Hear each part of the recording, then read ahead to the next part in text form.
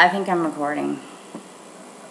If I'm recording, we are done with the old lady 44th birthday half Ironman. This is Eric. Oh, everybody gets to see Eric.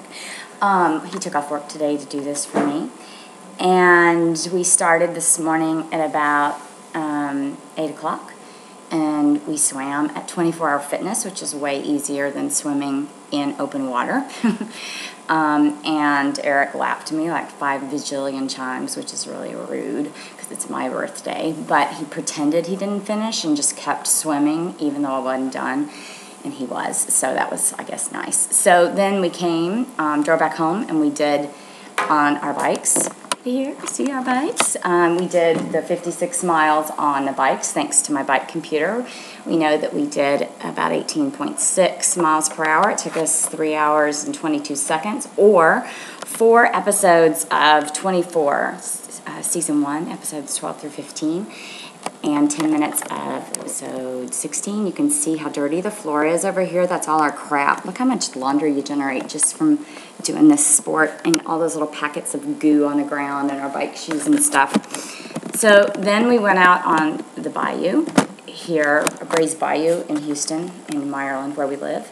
And I've been off running for the last 14 months, so this part was kind of a challenge because I've only been up to a little less than two miles but um, I ran nearly, I guess I ran six. I didn't run quite halfway. Um, half of that was in the VFFs, the Vibrams, and half was in regular shoes. All of it was on grass, which is way harder than pavement. Eric ran on pavement. He thinks I don't know that I worked 10% harder, but I totally know that I did. Anyway, it took us three hours, including one client call of 10 minutes. I was really rude of them to want me right in the middle of this.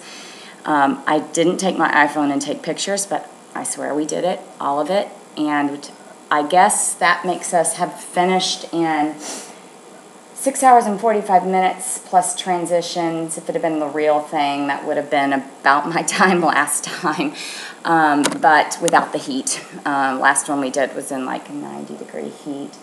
So if you count the fact that we had 15 minute transitions, it's probably a little bit longer. But anyway, so let's call it seven hours and, and leave it at that. Um, and now we're going to make tacos and red velvet birthday cake and entertain the kids. And y'all don't tell Eric's office this is what he took off to do today, or my clients. Bye.